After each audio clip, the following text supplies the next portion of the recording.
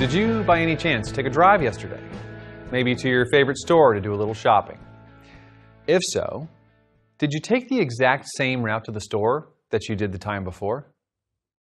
I'm willing to bet that at some point in the past, you chose to take a different route for whatever reason. The question of the day is this Did it matter? When you take different routes from your house to the store, you ultimately arrive at the store. You're at the same latitude, longitude, and elevation regardless of the path you took to get there. We call properties like that state functions. State functions are simply defined as properties that are identical for all systems of a particular kind, no matter what has happened to them previously. If you drove over a mountain or through a tunnel to get to the store, at the end of it all, you still went from your house to the store. Last time, we saw how Berthelot gave us a way to measure the energy that changes hands when a chemical reaction takes place. Over decades, many, many scientists have used this device to measure the heats exchanged when many, many reactions take place. Uh, this allowed them to obtain a great deal of information about how energy flows when chemical bonds form and break. It took a lot of work and a lot of time to catalog the heats released and absorbed by various chemical processes. Now, wouldn't it be great if there were some way that we could get some of that information without having to actually run the experiment? See, each time the heat of combustion for a given material is measured, uh, it's always found to be exactly the same. It doesn't matter if the reaction is run fast or slow, with large excesses of oxygen or just enough. It doesn't matter where the material came from or how it was made. For a given material, like our propane example, at the end of the reaction, the same amount of heat always changes hands. This apparently obvious fact is actually a crucial observation because it means that just like our route to the store didn't alter our location when we got there, the route that a chemical reaction takes to its products shouldn't alter the energy that those products contain. This observation led to a law postulated in 1840 by a Swiss-born Russian chemist and physician named Germain Hess. He conducted a little experiment using a calorimeter, not unlike the one that we constructed last time.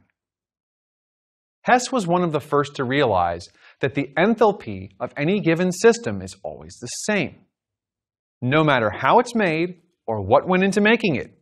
In short, enthalpy is a state function.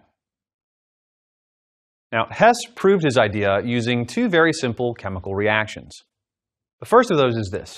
He reacted sulfur trioxide with water to form sulfuric acid, a very well-known reaction in his day. What was also known about this reaction is that it releases a certain amount of heat per mole of sulfur trioxide that is reacted. Now, Hess also ran another reaction. He knew that when he reacted sulfuric acid with, in this case, ammonia, NH3, in a 1 to 2 equivalence, he could make a compound called ammonium sulfate. And that in doing this, it also released a very well-known amount of heat. So what did Hess do that was so different? Well, Hess decided instead of running these reactions separately, he would run them together in one pot. In other words, he would take that reaction and cancel out his uh, sulfuric acids here and run a reaction where he added sulfur trioxide to aqueous ammonia, water and ammonia, so that the process could happen all at once instead of in a stepwise fashion, first making the sulfuric acid, then adding it to the ammonia. What he found was that when he ran the reaction this way, a certain amount of heat was evolved as well. But what was really remarkable was that it was exactly the summation of the heats of the two processes. The heat released when forming sulfuric acid from sulfur trioxide and then forming ammonium sulfate from sulfuric acid and ammonia was exactly equal to the amount of heat released when the whole thing happened all at once. And this prompted Hess to write that a combination taking place, the quantity of heat evolved is always constant, whether the combination is performed directly or whether it takes place indirectly and in different steps. And this famous experiment basically was the, the genesis of thermodynamics. It was when it was finally realized for the first time that heat is heat and it adds up. We can break processes down any way we want and then put them back together again, and the heats will always add up. So Hess's law states that the enthalpy change for a complex process is equal to the sum of the enthalpy changes of smaller steps making it up, no matter what those smaller steps may be. You may have taken the road over the mountain to the store one day, going up by hundreds of feet, then down again by hundreds of feet. Net change in altitude, zero. Another day, you might have taken a flat road around the mountain. A different path to be sure, but still a net change of zero. Hess's law is important because it allows us to take a shortcut to predicting the enthalpy of a reaction by running that reaction in our minds, completely disassembling molecules to their constituent atoms, then putting them all back together into the products that we want to form. As long as we know the enthalpy changes associated with the smaller steps of our imaginary process, our result should translate to a meaningful enthalpy change for the reaction in the real world. This process would never happen in nature. In reality, chemical reactions take complex pathways of stepwise bond breaking and forming as they progress. But thanks to Hess's discovery, we can take a shortcut. Just like we could take any route we wanted from our house to the store, in our minds we can take any route from the starting materials to the products in our chemical reaction. We simply run an imaginary reaction knowing that the enthalpies of the starting and ending points should be the same no matter how the process really takes place. One method that exploits that fact uses our knowledge of the energy released and absorbed when a typical type of chemical bond forms or breaks. We call these average bond enthalpies. So I'm going to make a catalog of those right now that we'll use off and on through the course. Let's start by thinking over here on the left about carbon and how it bonds to other things. Now, when a carbon atom and a hydrogen atom come together and form a chemical bond, 413 kilojoules worth of energy per mole of bonds is released. So that means that it would take that much energy to break it and reverse the process. What this means is that the higher the bond energy, or bond enthalpy is, rather, the higher the bond enthalpy is, the stronger the bond will be. So carbon-carbon bonds, not surprisingly, are pretty tough. They're 348 kilojoules per mole. Those are the bonds that are holding together the sugars in the foods that we eat and many of the molecules in our own body. Carbon-nitrogen bonds are a bit weaker and therefore a little bit more reactive. That's also not surprising. And if we continue looking through the halogens, we see that carbon-fluorine and carbon-chlorine bonds are fairly sturdy, which explains why they're used so often in refrigerants, which can escape into the atmosphere. We want to be sure that we use something that's not too reactive. Uh, bromine and iodine, however, look how weak those bonds are. There's a very good reason that you don't hear about bromo, uh, bromofluorocarbons or iodo-fluorocarbons. It's because they would be far too dangerous to the environment to use. And carbon-sulfur also bond with relatively low bond enthalpy as well, making it somewhat reactive. And we've got a whole laundry list of additional bonds that we can think about here. Multiple bonds release different amounts of energy. Notice that as I increase the bond order of carbon-carbon bonds, I go from carbon-carbon single bond at 348 to a CC double bond at 614 kilojoules per mole. And it takes 839 kilojoules per mole on average to break a carbon-carbon triple bond, much stronger. And we see this trend continuing if we look through the table here at other bonds. We also have hydrogen, of course, is very common. And that bonds to a number of other elements as well. So we're going to want to consider occasionally just how strong hydrogen bonds with other elements. And so here's a list of a few of them now, and those will come to bear on some lectures later. But for now, we've got this very nice table with lots and lots of different bonds in there and their average bond enthalpies. So how is it that Hess's law gives us a way to use these apparently uh, disparate uh, energies here? I mean, they're all just they're all different bonds, right? How do we use this in a way that lets us calculate how much energy changes hands when a molecule converts from one type to another? Well, we do this because Hess's law allows us to take a set of reactants convert it into anything we want to in our minds, and then convert that into the final product in a two-step process. Then combine the heats that we expect to determine the overall heat of the process. For example, here's our combustion of propane yet again. We know this reaction very well now. Propane and oxygen combine in a 1 to 5 molar ratio to form carbon dioxide and water. But if I wanted to predict the heat of this reaction rather than measure it as we did with our calorimeter, how would I do that using Hess's law and bond enthalpies? Well, again, Hess's law lets me say, you know what? To know the delta H for this reaction, I can take propane and oxygen and do absolutely anything I want to it. I can turn it into atoms. I can atomize it, break every single bond in the propane, every single bond in the oxygen, and create gas phase atoms in my mind. And then use those gas phase atoms to rebuild my products, forming all the bonds that make them up. So if I were to employ this strategy, I might write my reaction out like this, with an intermediate condition where I have oxygen atoms in the gas phase, hydrogen atoms in the gas phase, and carbon atoms in the gas phase. Something that we would probably never actually observe in a reaction like this, but that doesn't matter because of Hess's law. So I'm going to do this because Hess says I can. I'm going to atomize my starting material and then rebuild my product completely from scratch. So when I do this, I'm going to break a certain number of bonds, right? And then put my atoms back together and form a new inventory of bonds. And simply by taking the bond enthalpies and doing a little bit of accounting, I'm going to be able to determine roughly what the energy of this reaction will be, or the enthalpy of this reaction will be.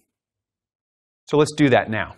So the enthalpy for this reaction is going to be simply equal to the total amount of enthalpy required to break every single bond in the starting material minus the total amount of heat that it is released when every single molecule of my product is formed. I can get these numbers from my bond enthalpy table.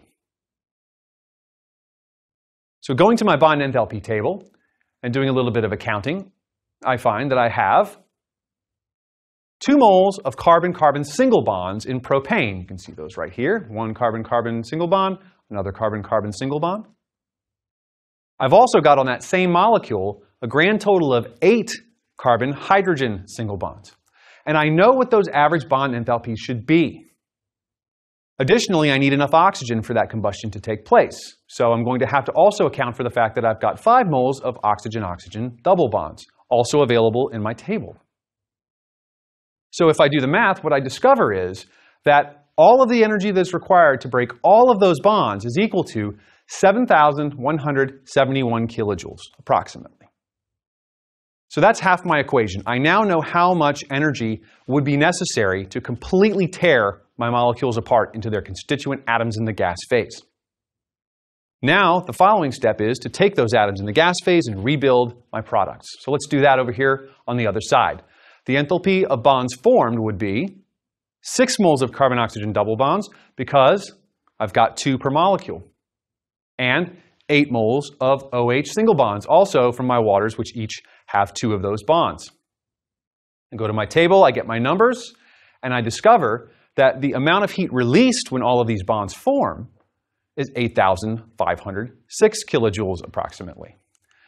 So now I have the total amount of energy needed to break all of the old bonds and make all of the new ones. I simply combine those to determine the heat of the overall process, which is allowed by Hess's law.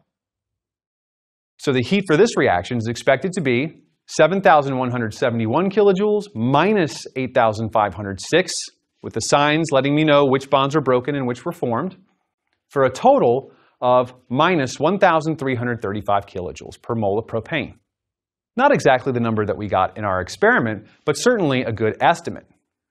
But using average bond enthalpy suffers from the problem that we're dealing with averages. Not all carbon-hydrogen bonds are identical. So some are slightly higher in energy, some are slightly lower. And our slightly deviant value here is a testament to that. So average bond enthalpies are just that, an estimate of the amount of heat released when a bond forms or absorbed when it's broken, determined by averaging out the observed enthalpy for a particular type of bond over a range of situations. But not all bonds between two particular atoms are created equally. For example, the energy required to break the OH bonds in water are actually not identical. Breaking the first bond requires slightly more energy input, about 499 kilojoules per mole, and breaking the second slightly less, about 428 kilojoules per mole. Close to one another, but different enough to possibly be important. Our estimate of the heat of combustion of propane is a testament to that inaccuracy. We missed by nearly 1,000 kilojoules per mole. Using average bond enthalpies is great when we only need an estimate for the energy released in a reaction, because there are relatively few combinations of two bonded atoms. This makes for a very manageable table of values that we have to scan through. But what about when we need more precise numbers? Well, sometimes we have to bite the bullet and actually use an enthalpy value specific to the compounds that we're studying. But what value to use? We need something easy to compare from molecule to molecule. But what process might that be? Now, remember that absolute enthalpies are actually impossible to know. We have to compare the enthalpy of a product to that of a set of starting materials if we're going to determine any kind of change whatsoever. But those starting materials can be anything we want to imagine. So, how do we choose? Well, why not choose something simple that we can all remember and agree on? How about pure elements in their standard states? It seems like the most logical place to start. This is exactly what chemists do. We arbitrarily define the enthalpy of any element in its standard state as zero. Now, measure the heat gained or lost when a compound of interest forms from elements in their standard states, and call this value the heat of formation for that compound. Here are uh, a few heats of formation of some elements. H2 gas, 0 kilojoules per mole. O2 gas, also 0 kilojoules per mole. Carbon as graphite, 0 again. Now, how about carbon as diamond or oxygen as ozone? Uh, trick question, right? Diamond and ozone may indeed be pure carbon and oxygen respectively, but they're not in the standard state. Ozone and diamond aren't the most stable form of these elements at standard temperatures and pressures. So diamond actually has a non-zero heat of formation. Simply rearranging the atoms in graphite to form diamond actually requires the input of a small amount of heat, about 1.9 kilojoules per mole of carbon. And turning diatomic oxygen into ozone requires the input of 143 kilojoules per mole. So ozone is clearly much less stable than diatomic oxygen, a fact we've predicted many times in the course. So now that we can spot elements in their standard state and realize that their enthalpies are arbitrarily set to zero for comparison, we can measure the heat change when any compound we can imagine is formed from its constituent elements in their standard states and assign that value as its heat of formation. We can estimate the heat of reaction of the combustion of propane instead of using bond enthalpies using heats of formation, using this equation here. Now, I need to point something out that's very important right now because it's easy to get lost in the signs here. Notice that in this case, the heat of formation of the products is positive and the heat of formation of the reactants is negative. So you'll often see this equation written as heat of formation of products minus heat of formation of reactants as well. In either case, mathematically, they're equivalent. Now, I've written them this way so that we can illustrate exactly how this is possible. Again, let's consider our reaction. Propane and oxygen react to form carbon dioxide and water. And because Hess's law says I can choose any intermediate I want to, instead of atoms, I'm going to choose elements in their standard states, those states in which they're found on the surface of the Earth at about room temperature and pressure. So in this case, I'm going to take my propane and oxygen here, C3H8 and O2, and I'm going to convert it into the product CO2 and H2O. But my intermediate for this calculation is instead going to be carbon as graphite, hydrogen gas, and oxygen gas. These are the standard states, and remember, they're used in determining the heats of formation of any substance. So essentially what I'm doing here is I'm going to take my reaction, take my starting materials, and run the exact reverse of their heat of formation reaction, forming elements in their standard states. Then I'm going to run the reaction in the forward direction to form my products from elements in their standard states. Therefore, I can assume that the heat of the overall reaction is simply equal to minus the heat of formation of reactants because we're going backwards, plus heat of formation of products because that portion of the reaction is the heat of formation going in the forward direction. Let's get our best estimate yet at the heat of combustion of propane using heats of formation. We have to consider four reactions, really. The first of those is propane being converted into graphite and hydrogen. Again, this is the reverse of the heat of formation of propane. Now, oxygen is an element itself in its standard state, so we can write a reaction out like this, although it really means nothing is happening as far as the oxygen is concerned. We're also going to consider the formation of CO2 from its elements in their standard states and the formation of water from its elements in their standard states. The reason I'm considering these is, again, Hess's law allows me to combine these reactions, canceling out those things which appear on both sides, and create the overall reaction that I'm going to be analyzing. Here it is, the combustion of propane, perfectly balanced. Meaning, if I were to take the heats of all four of these processes and then combine them, I should get the heat for the overall reaction. So let's get those numbers now. We're going to use 1 mole times the heat of formation of propane because we have 1 mole. It's got a negative sign on it, of course, because this reaction's gone backwards.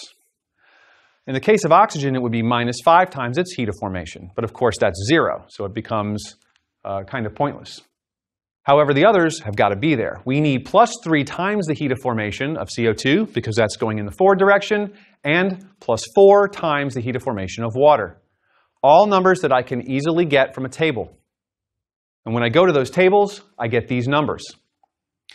Simply doing the math leads me to the conclusion that when I subtract the heat of formation of reactants from the heat of formation of products, I get 2,046 kilojoules per mole, a very reasonable estimate for the heat of combustion that we determined previously. So heats of formation for various compounds give us a way to even more accurately estimate exactly how much energy changes hands, not just in the combustion of propane, but in a variety of reactions.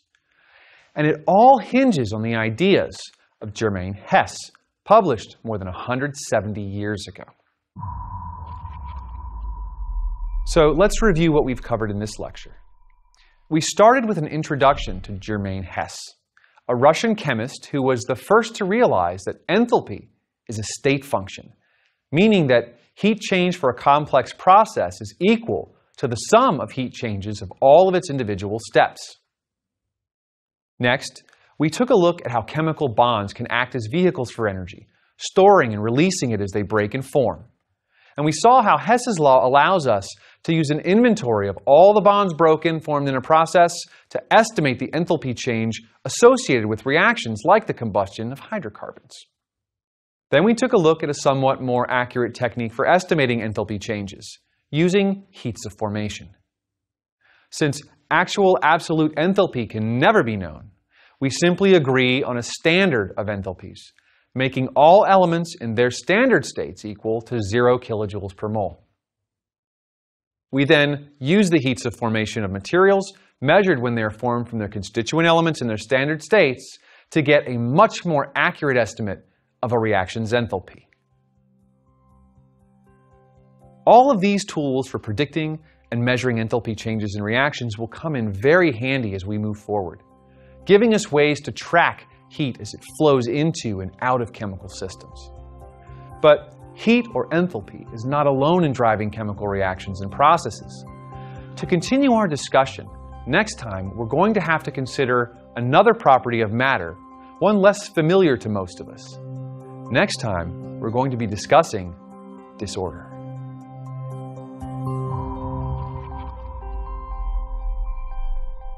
Now that we've had some time to consider the fundamentals behind thermochemistry, let's apply our understanding of that to a new challenge problem.